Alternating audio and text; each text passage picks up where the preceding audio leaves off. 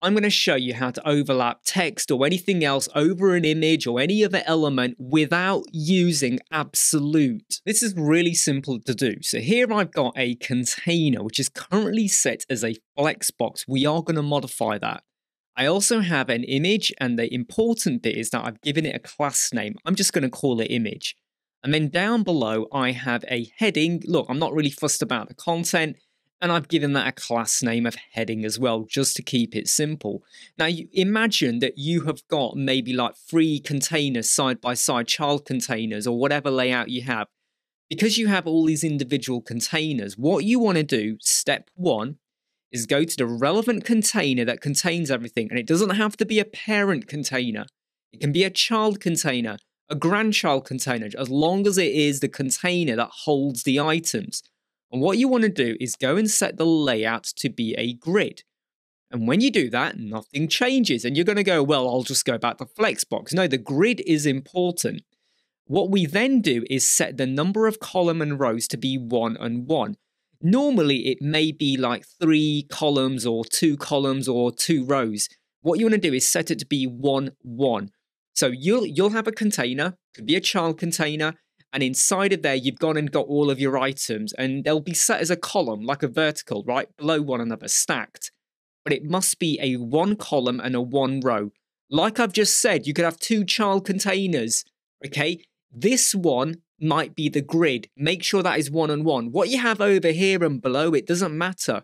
Just make sure where you put the items is one on one. I cannot stress that enough. What you then do and this is how simple and easy it is you go to the Advanced tab, you go to Custom CSS, and you drop in the code. Now, before I do that, I want to remind you the standard normal way, if you were going to do an overlap like this, is you would have gone and set like your heading maybe to be something like absolute. And then you need to ensure that you go and set your image and all of that with the horizontal and vertical positioning. And it can get messy. So what we're going to do is pop this back to be default make sure you're on the container that contains everything, okay? Not the parent. It could be a child, it could be a grandchild, it could even be the parent, okay? Just make sure you get that uh, in your mind. And this is the code you drop. That's literally it. We have grid column 1 to 2, grid row 1 to 2. So I'm saying the image, because this is one column, one row, start at 1, end at 2. And you're probably going, where's the number 2? No, number 2 is the edge edge 1, edge 2. For the row, edge 1, edge 2. Does that make sense? It's working on the edges. What about the heading? Start at 1, end at 2. For the row, start at 1, end at 2. It's absolutely fine in the viewing. You're not getting this empty dead space anywhere.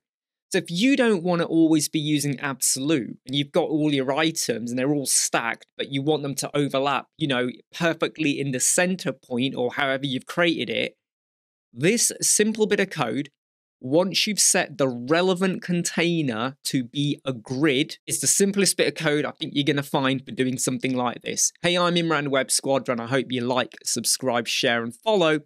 I'll see you soon. Always fight, never quit, do it right, play the game, win it life, have no shame, there's no time, feel the pain, live the grind, I could change, in my mind, pick a lane, commit and climb, the only way to win it life, I never miss that